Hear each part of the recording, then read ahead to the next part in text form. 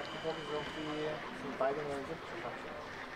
Dann noch besser. Können wir die D-Züge dann über 79 schieben, weil die sind schon mal gewesen.